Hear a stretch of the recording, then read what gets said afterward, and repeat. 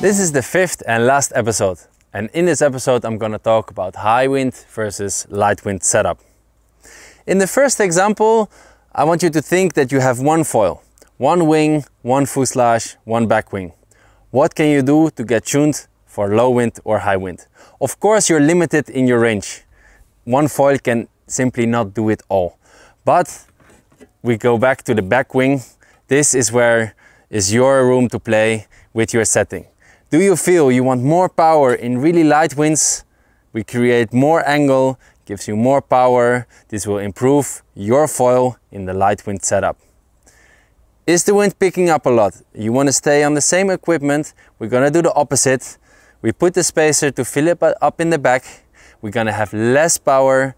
This will bring you more control and makes you foiling in stronger winds. Now that we move to more fuselages and more front wings, we have a lot more setups to play with. You can imagine if I'm having this 720 front wing compared to this 420 front wing, in light winds I will have a lot more power. So obviously this will be the foil I would choose. If it's 25 knots, you can imagine reaching with a foil like this can be really, really powerful and I would much rather ride a 420 front wing with a shorter fuselage. As with this setup, I'm having a 100 fuselage and a 420 front wing and a small back wing. Everything means control. The smaller it is, the less drag, which means you can glide faster through the water. Um, you need wind for this, but you'll be fast.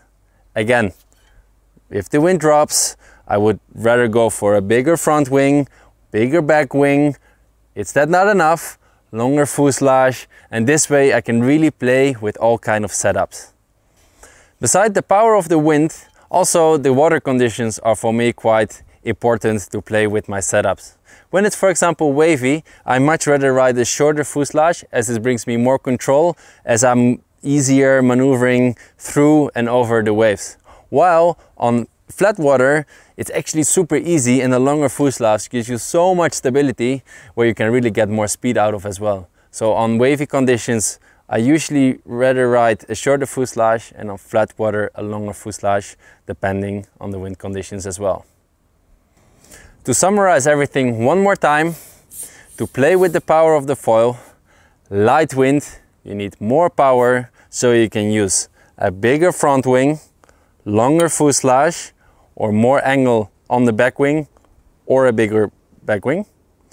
And when we think opposite, the wind is getting stronger, you get more power, so what do you want? You want less power from the foil, which means a smaller front wing, shorter fuselage, or a smaller back wing, or a back wing with less angle.